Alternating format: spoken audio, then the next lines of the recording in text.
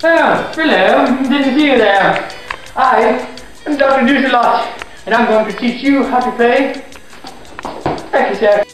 Now, hmm, Hacky-Sack has been on for generations back in China, and they played with severed heads.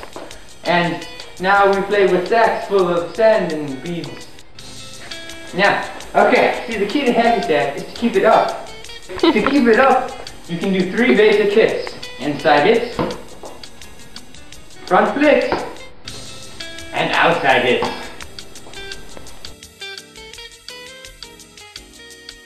Now the key to a successful inside hit is to keep your foot flat. Flat.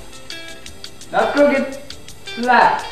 Because then it hits well. If not, look at that. Look at that.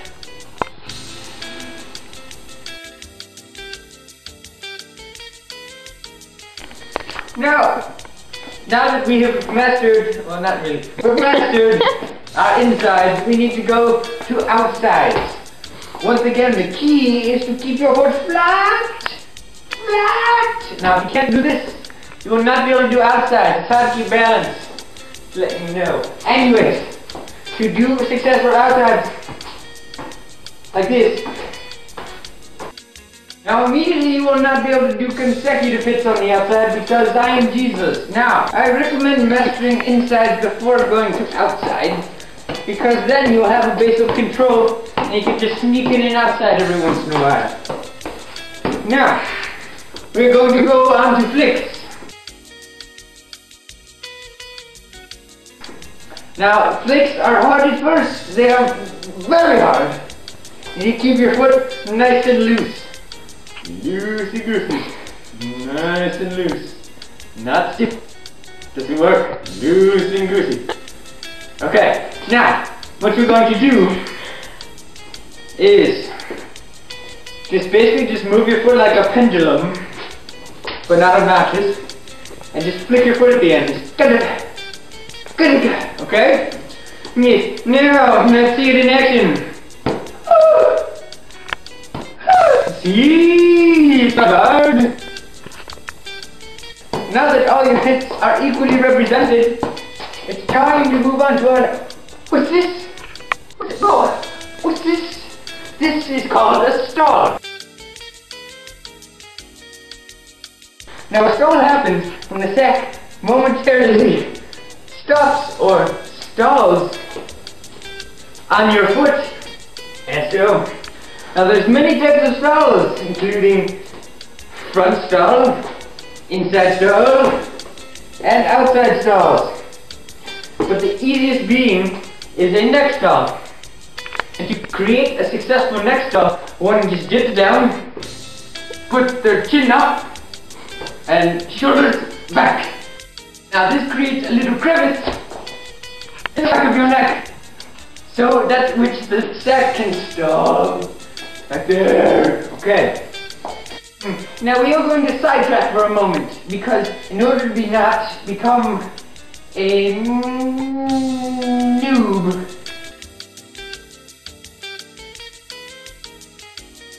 you do not want to be a noob. You to pick up the sack, you're not going to lean over and be like, "Oh, I'll get this for you. Here, I got it." No. Once it's on the ground, what you're going to do is you put your foot right behind it, push, place your other foot right in front, and simply slide it onto your foot. Kaboosh! Kaboosh! Now back to the other stalls. Hmm. Now, to do a fractional stall, the key is to point your toe up. Like so, not down. Obviously this would not work. Once your toe is pointed up, you're going to bend your knee. Bend your knee at a slight angle. Not a big angle, a little angle. Okay, now, once your knee is bent and your toe is up, you're simply going to cushion the sack when it falls by simply just kind of squatting a little bit. You ever do squat thrust? kind of like that. But instead of squatting, you're going to just drop your foot and slightly bend your left knee.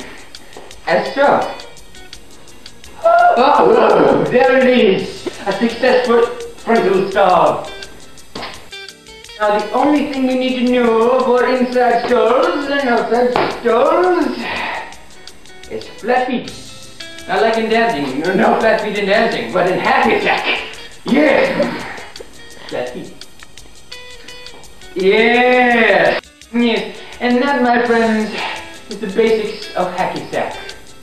Now you can join me, Dr. Doozalot, in my next video to learn complicated tricks that actually aren't that complicated. I will teach you step by step and join me next time.